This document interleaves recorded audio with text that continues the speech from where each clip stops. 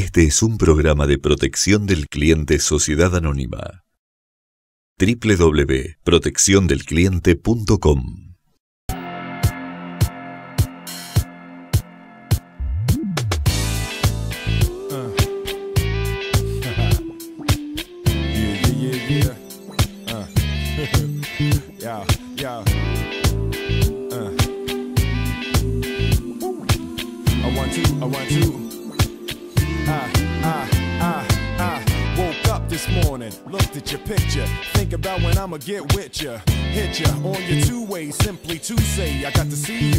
Hola, muy buenas noches y bienvenidos al Mostrador TV. Este mostrador que abrimos a partir de esta noche y todos los domingos a la medianoche por Canal 10.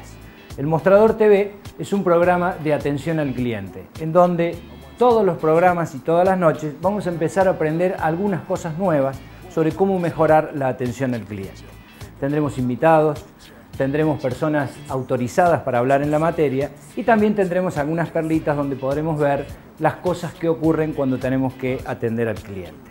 Pero definitivamente no podemos empezar este programa sin decir o sin contarles a ustedes qué significa la palabra cliente.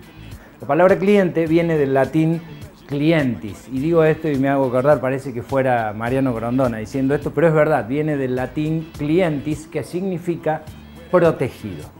Por lo tanto, vamos a empezar a pensar que al cliente no hay que cuidarlo, al cliente hay que protegerlo. Y esta práctica nos va a llevar a que las metodologías que apliquemos a partir de este momento sean probablemente diferentes a las aplicadas en el pasado. Dicho, esto, me gustaría introducirlos en el tema dejándolos ver un pequeño fragmento de una película que nos va a mostrar ¿Qué pasa cuando no atendemos bien a nuestros clientes? Hi, can I help you? Yes, I'd like a ham and cheese omelet, an order of lamb fries. I'm sorry. We stopped serving breakfast, but we are on the lunch menu now. But I want breakfast. Well, you can't have it. We're not serving it. So you said. Uh, is that the manager? Yeah, Could I speak to him, please? Sure. Rick, there's a customer that would like to speak with you. Here you go. Yes, sir. Hi, I'd like some breakfast. We stopped serving breakfast. I know you stopped serving breakfast, Rick. Sheila told me you stopped serving breakfast. Why am I calling you by your first names? I don't even know who you are. I still call my boss Mister. I worked for him for seven and a half years, but I walk in here all of a sudden, total stranger, and I'm calling you Rick and Sheila like we're in some kind of AA meeting. I don't want to be your buddy, Rick. I just want a little breakfast. We stop serving breakfast at 11:30.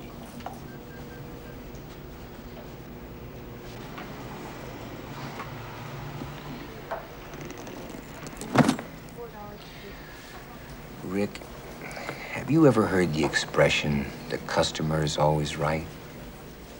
Yeah. Yeah, well, here I am, the customer. That's not our policy.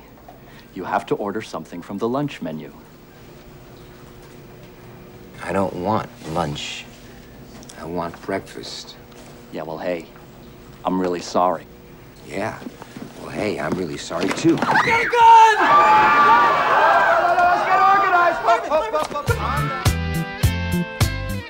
¿Quién no tuvo ganas alguna vez de esto, no? La verdad que entiendo que nos ha pasado la desatención, pero la reacción no es aconsejable. No lo aconsejo, pero digo, ¿quién no ha tenido ganas y quién no se ha sentido identificado con esta acción? Pero de todas maneras les propongo que escuchemos a los que más saben de atención al cliente.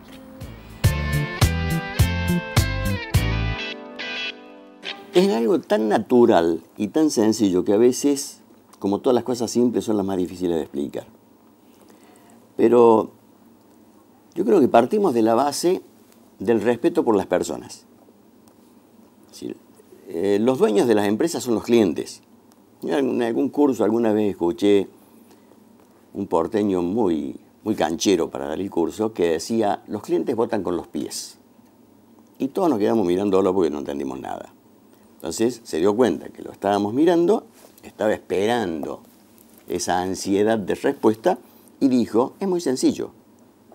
Si no le gusta, pega la vuelta, se va y no vuelve más. Y esa es la realidad. Esa es la realidad. A lo largo de mi carrera he escuchado muchas definiciones sobre las herramientas con las que cuentan los clientes a la hora de defenderse, pero la verdad que esto de los pies no solo me ha dejado helado, sino que también me parece una genialidad propia de una persona que de la nada construyó un imperio.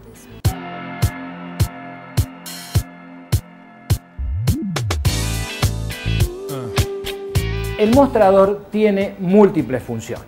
Sirve para mostrar los productos y servicios que tienen las empresas, también sirve para mostrar las capacidades que tienen aquellos que atienden a los clientes, sirve para mostrar la idoneidad que hay que tener para vender un producto o un servicio, pero definitivamente también sirve a veces para mostrar la hilacha.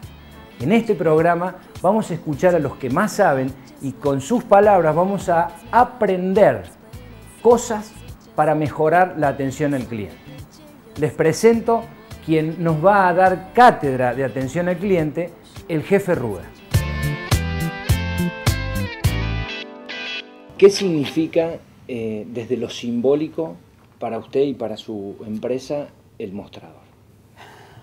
Yo creo que el mostrador en realidad eh, sirve para mostrar, pero de una manera equívoca, las cosas que no quiere vender.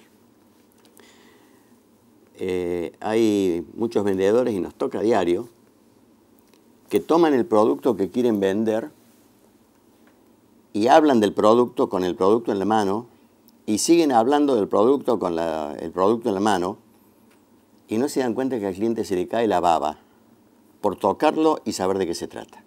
Entonces yo creo que lo primero que tiene que ser el mostrador es un apoyo para entregarle eh, el deseo al cliente y que el cliente lo toque y pregunte todo lo que tenga que preguntar.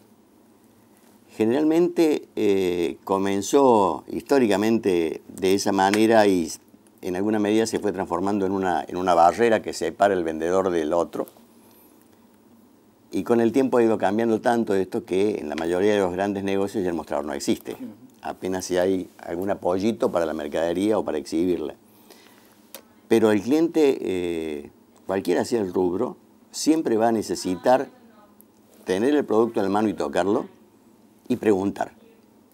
Por más autoservicio que sea, siempre cuando uno se planta minutos a mirar la cara de la gente, la gente tiene dudas y la gente está buscando a alguien que le diga o dónde está, o cuánto cuesta, o de qué está hecho, o qué garantía tiene, o por qué está ese precio, o cuál es la variedad.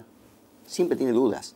El cliente tiene deseos, tiene necesidades, y el producto solo no lo satisface. Las indicaciones menos que menos. Entonces, ahí es donde tiene que aparecer una persona que se llama vendedor, que tiene que solucionarle los problemas, que tiene que explicarle todo lo que necesita saber y dejarlo contento. Esa es la función del vendedor y del mostrador. Ahora, cuando en una empresa se tiene conciencia de que sin los clientes la empresa no existe y se toma conciencia de que los colaboradores, llámense vendedores o responsables de atención o como quieran, son personas. Empieza una cadena. Yo sé que en mi empresa el éxito depende de que mi gente entienda su tarea, le guste su tarea, asuma, la comprenda y la aprenda, es decir, la introduzca en su cabeza y en su corazón, se siente cómodo, bien atendido, bien cuidado, y a partir de ahí, con una persona que está alegre, que está conforme, empiece a sentir lo mismo por el resto de la gente. Somos personas. No hay otra cosa en el medio, no hay magia.